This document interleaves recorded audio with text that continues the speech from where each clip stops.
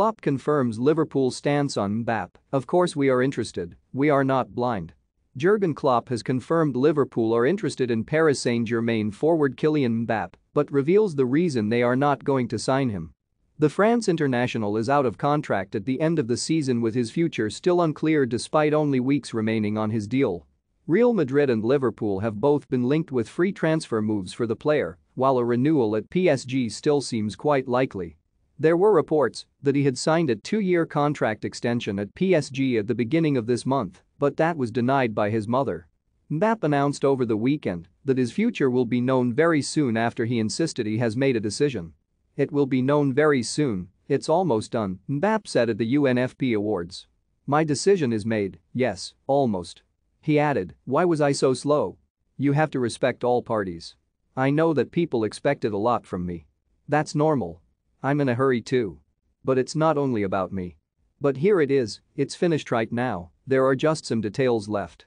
A move to Liverpool has long seemed realistic because of the huge wages Mbappe would demand on any move away from Paris, but Klopp said on Monday that the Reds are interested. Klopp said, of course we are interested in Kylian Mbappe, we are not blind. However, the Liverpool boss immediately played down any chance that the 23-year-old would actually sign for the Premier League side as they cannot be part of these battles. Klopp added, actually, I have nothing to say about that, but between Kylian and Liverpool, it's all set, it's all fine. We of course like him, and if you don't like him then you have to question yourself.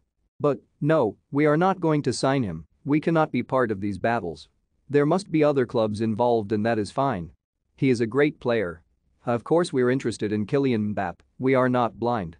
Jurgen Klopp on whether Liverpool have an interest in signing Kylian Mbappe pic.twitter.com 7 Clubbook, Football Daily, at Football Daily, May 17, 2022 Meanwhile, Klopp revealed that Mo Salah and Virgil van Dijk will both miss Liverpool's crucial Premier League match against Southampton tonight.